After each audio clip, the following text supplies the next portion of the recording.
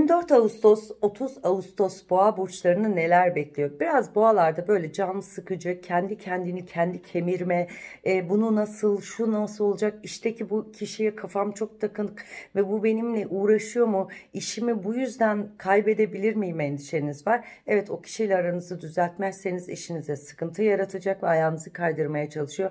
Bu üst düzey yöneticiniz olabilir ya da çalıştığınız, yan çalıştığınız ve size rakip biri olabilir. O yüzden işinizle alakalı demişim ki aman dikkat ayağınızı kaydıracak ve mobbing uygulaması sisteme geçiş sağlanacak. Bu e, özellikle 26, 27, 28, 29 ve 2 Eylül'e kadar dikkat ederseniz işinizde kalırsınız. Ama dikkatsiz davranırsanız gerçekten artık ben burama kadar geldi gitmek istiyorum diyeceğiniz noktaya erişeceksiniz. Ailede yaşadığınız gerginlikler ve e, özellikle ilişkiyle ilgili yaşadığınız gerginlikler daha yumuşamış. Hatta ve hatta çocuk planlama ya da daha büyük bir eve geçip aileyi büyütme kararı içerisindesiniz. Ama çözmek istediğiniz her şeyden önemlisi ailenize ait bir mal. E, e, bu malla ilgili müteahhite mi vermek istiyorsunuz? Evin içi mi restorasyon edilecek? Bu kararsızlık var. Bunu çözmeniz lazım. Özellikle de eğitim konusuyla ilgili kendini geliştirmek ve yabancı dil, Fransızca, e, e, Çince, Japonca ve aksanı güç, İngilizce de olabilir. Aksanınızı güçlendirmek istiyorsunuz ve özellikle yüksek master yapmak isteyen boğalar bununla ilgili yapayım mı yapmayayım mı kararsızlığı var. İlk önce dil eğitimimizi alalım. Seneye master'ımızı yaparsak daha sağlıklı olacak. Hepsini bir bir yapmak istiyorsun sonra hiçbirini yapmıyorsun.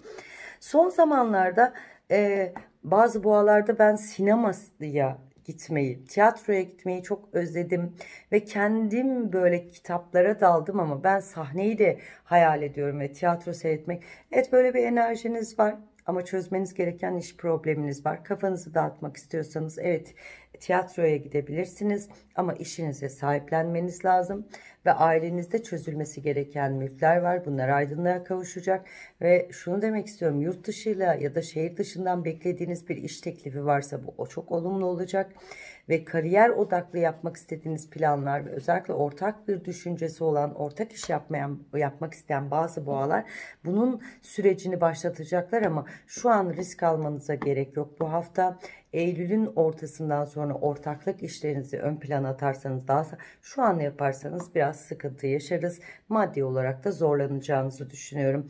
Ee, uzun süredir alamadığınız bir bu para konunuz var. Sürpriz şekilde hanenize ufak paralar gelecek söyleyebilirim.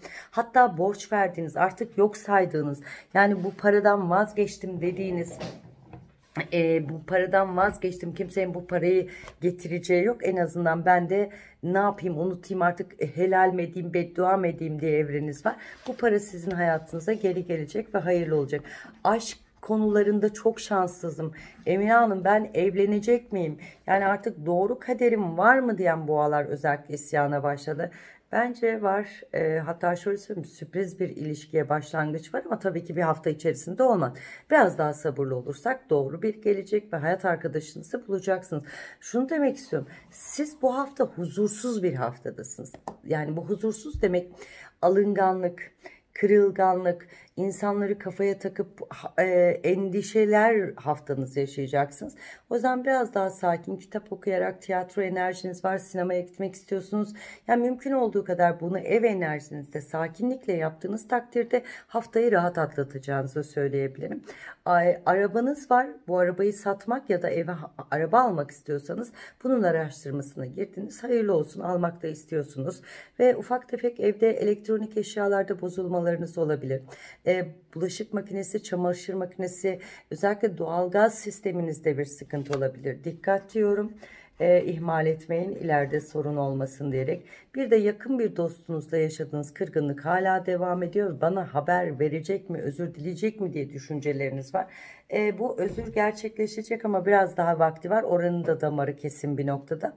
Aile büyüklerimizle alakalı yaşadığımız uzun süredir kırgınlıklar var. Bu kırgınlıklarla ilgili laflar gelecek e, o öyle dedi bu böyle dedi şu şöyle dedi diyerek eğer bunlara takılırsanız canımız sıkılabilir.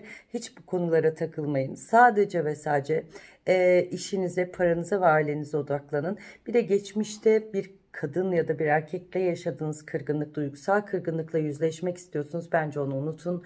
Yolunuza bakın diyorum. Boğa burçlarına demiştim ki özellikle cuma namazı e, vaktiniz varsa iki rekat şükür namazı kılın. E, e, dikkatsizlikten doğacak ya da dikkatinizi dağıtacak olaylardan dolayı nazar enerjiniz ya da kaosunuz olabilir. E, bir şükür namazı kılmanızı önerebilirim. Bir de şey demişim e, kendine güzel davranıyorsun ama kendine de bencesin. Yani kendi korumanı doğru noktada yapmak istersen kendi kendine de zarar veriyorsun. O yüzden bir şifalanmak sana iyi gelecek. Yükselen Vay burcunuzu mutlaka dinleyin. Değerli boğa burçları sevgiyle kalın. İyi haftalar.